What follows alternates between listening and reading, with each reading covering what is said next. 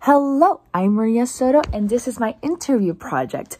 So I'm to pretty much be reading it, everything out loud I have in the slideshow presentation, give you some animation with my voice. So let's continue on. And our special guest is Case Hinesley. Yay! So Case is my best friend's brother. He is one out of 10, give him like a six and cool.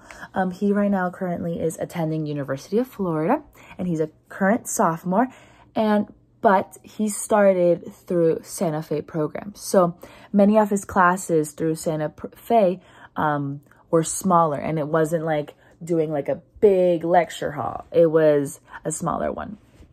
So what's his major? I asked him and he was like, oh, environmental engineer. And I was like, oh, are you planning on changing it? And he was like, no, like fully serious. Very wacky to see that a person knowing what they're going to do in their lives. Really amazing. And I asked, why that one? LOL. But he enjoyed AP Environmental in high school, plus he likes math and science. And so what profession will you pursue after graduation? And he plans to pursue becoming an engineer manager for a firm. And then he also quoted, or I don't know, but I didn't want to put that because, you know. And will this require to continue your education? He said, most likely he's going to continue in doing a, a combined master's degree at UF, but he did say to me that he was like, I don't want to do it though. So we'll see what Mr. Hinesley does. So, and now the question we have all been waiting for. How many math classes did or will you take in college? So because he's an environmental engineer, he has to take so many math classes. So he has taken calculus 2, calculus 3, differential equations, engineering statistics, physics 1, physics 2, and statics. And he's going to take, because he's, um, I the um, the classes after sophomore year, the junior and senior year are more um more AP environmental, like super specific to AP environmental science. So Case only has one more math less and it's math left. And it's computational methods and environmental engineer. So let's choose one to talk about. Let's do calculus 2. So calculus 2 um, how many weekly lectures he would have. He would have Monday, Wednesday, and Friday, each be 50 minutes. How many discussions a week? He said that on Tuesdays, um, there would be a one hour, extra hour discussion. And then number of students in the lecture was between 16 to 20, because I told you it's small because it's in Santa Fe. And the discussion was around 30 people. So that was, I'm, I'm guessing it was a mix between two different classes and how were assignments given. So meaning were assignments like oh yeah, they're not assigned they're, they're there's no grading. No he said all of them are worth a grade. Um how much time each week doing assignments? This one i had to pull it out to be like i mean like how much would you study? How much that? And he like averaged it to three hours. And how many exams did you take? Three.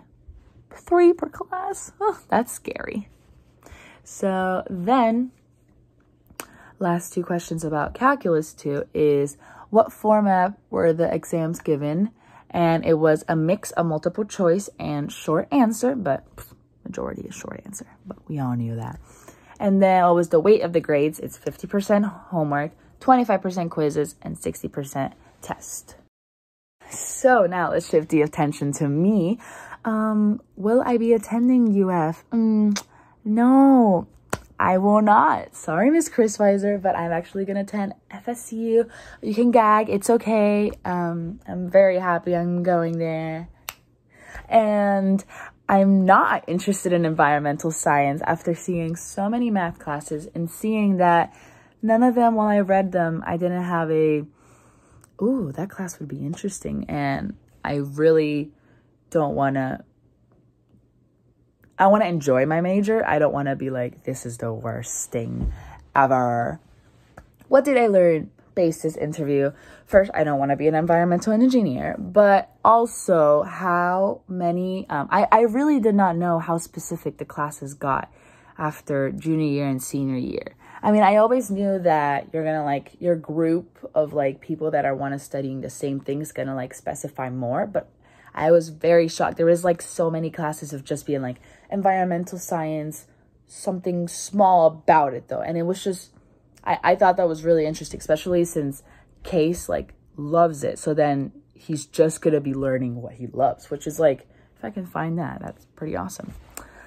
Um, my college plans are actually, yes, they're set for FSU. Um, I have, I already paid the deposit. I'm going to be rooming and I'm going to be dorming and I'm going to attend on fall, not summer and FSU. And I'm really, really excited. And I have not thought of what career I want. I am still experimenting. I'm going to enter as a psychology major because I feel like that's going to introduce me to classes that I'm going to enjoy and then I'm going to be able to like branch out of that to find a different class because I'm not I'm planning on changing it, but that's how um what I'm entering with. And I learned with creating the budget that Florida prepaid is a blessing in this it's a it's a blessing that I don't know how um, people don't take it. It's just amazes me.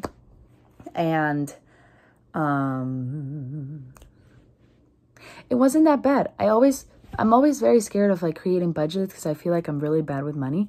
But then I just did it and I was just like, oh, I can do this. Okay. So then right after um, for psychology, I looked it up on FSU and here is the psychology track and I don't see so many math classes, which is great, but I see statistics. I really don't know about statistics. And then we have, this is the geometry and calculus 2 class for case in UF. And then this is my budget with a lot of money in, thank God, because I am from Florida Prepaid, Bright Futures, and help from my parents, and then a summer job, because I am going to plan on um, doing work on June, and money out, the money out.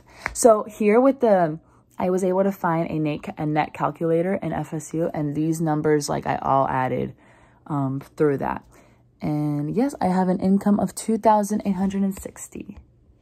And these are my MLA sources and that's my final presentation. Thank you so much for watching me ramble about everything. And yeah, thank you so much. Have a good one, Miss Chris Weiser.